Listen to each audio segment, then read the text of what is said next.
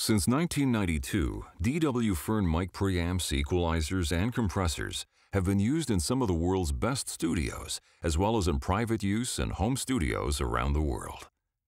This tutorial will help you get the most from your DW Fearn products. Learn how to interface our products with the rest of your studio gear, and learn from Doug Fearn's experience in over 40 years in pro audio. Back in 1993, soon after the VT1 microphone preamplifier was introduced, I was in Boston and I ran into a customer who had a pair of VT1s. And he told me he was using them on the mix bus of his console and he really liked what it was doing for his mixes. Well, my first reaction was, wow, that doesn't sound like a good idea at all because the level and impedances and everything is wrong for putting a microphone preamplifier in that situation. I was actually kind of surprised it worked at all.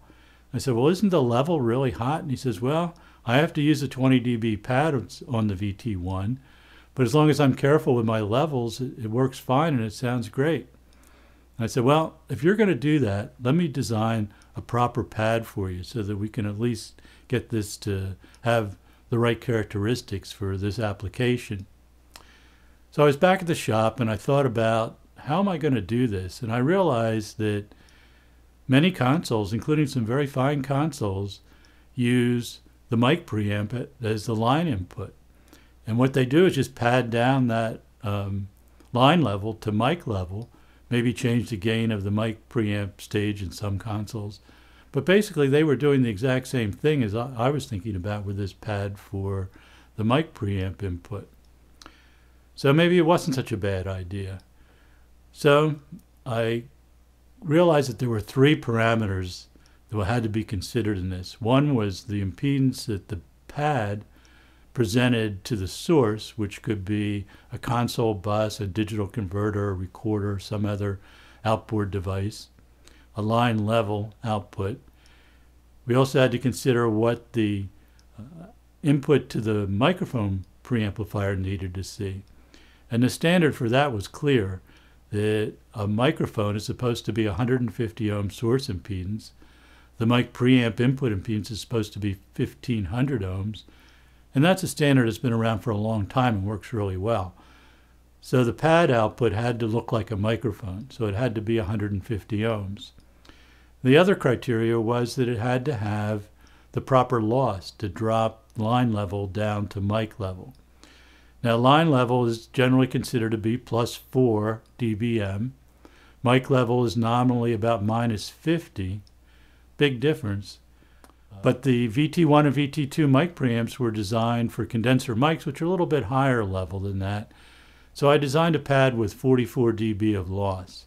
That meant that the plus 4 became a minus 40 for the microphone preamplifier. And that worked really well. That level was very good. And in fact, it gave you a couple of options because it was a little bit hot for mic level. You could run it without the pad on the zero position of the VT1 or VT2 and have one sound. And by switching in the 20 dB pad, switching to the minus 20 position on the VT1 or VT2, you had a different situation where the level was lower going to the mic preamp and it sounded a little, little bit different. So it gave the user some options. And that device became the LP1 line pad. Now, the LP1 is a very simple device. It's basically an H pad. This is what a schematic diagram of a H pad looks like. It just uses resistors. It's a passive device. If we turn it around this way, you can see that it looks like an H, which is where the name came from. And by selecting the values of those resistors, it gives us the characteristics that we want. It's a very simple, straightforward engineering process.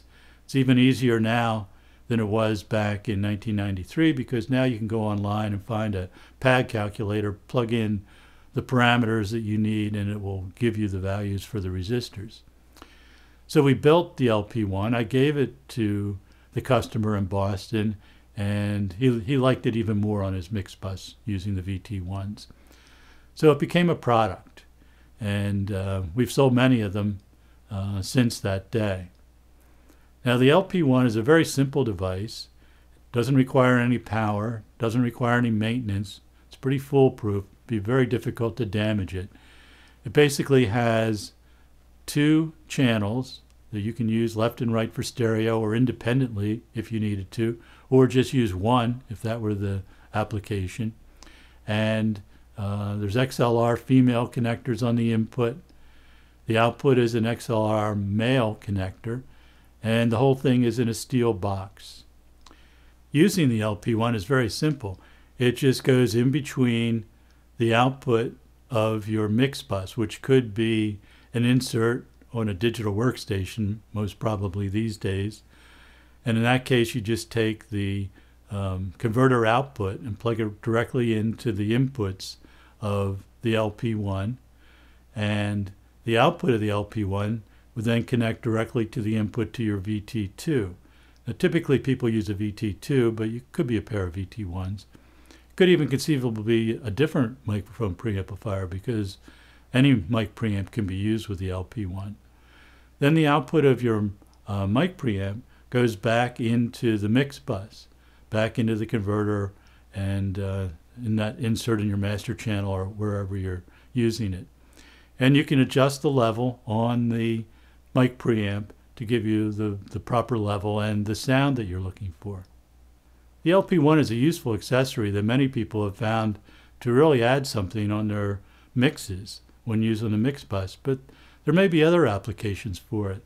I heard once from a producer who was working on some vintage recordings that were done many years ago in studios that weren't real sophisticated and the equipment available wasn't very sophisticated and the recordings really had a rough edge to them that he was trying desperately to get rid of. These were classic recordings of, of well-known artists and he really wanted to try to salvage as much of that material as he could. And what he found was using the LP1 and a VT2, he was able to take those tracks, most of which were mono, and knock off the rough edges of them and make them sound pretty good. And that's what the LP1 plus a mic preamp will do on the mix bus.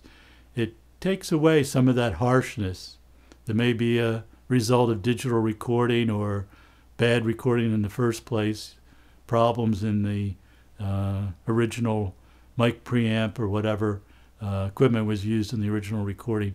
This setup can help you to improve that quite a bit often.